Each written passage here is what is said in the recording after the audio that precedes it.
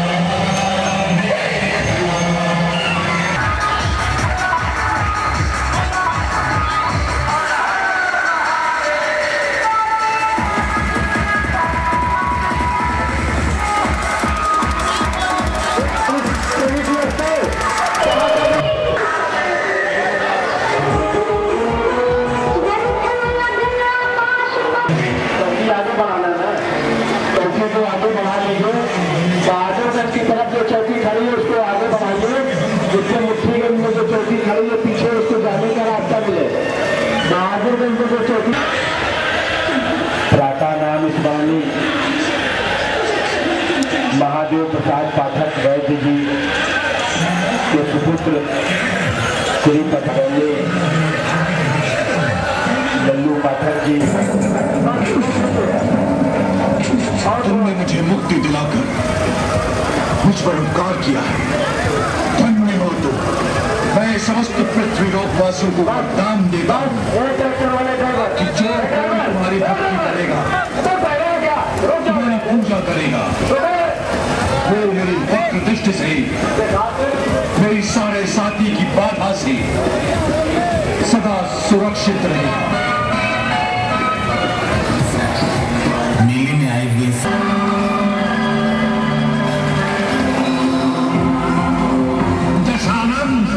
के सिवा कोई दिखाई नहीं देता। न बलवान न ज्ञानी न विद्वान न योद्धा। बहुत खमन पाना तुझे नहीं निकल सकता।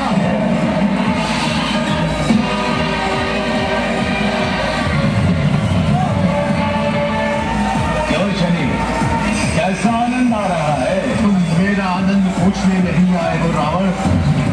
तुम अवश्य ही अपना आनंद जलाने आए हो असंभव को संभव करने आ गए हैं। प्रभु श्री राम वन्नी वनवासी राजकुमार। भाई आगे बढ़ा दो। तुम्हारी बात का है। ये क्यों नहीं कहते? क्या तू है तू तो अजय है। कहता क्यों है? तुम मृत्युंजय कैसे हो सकते हो?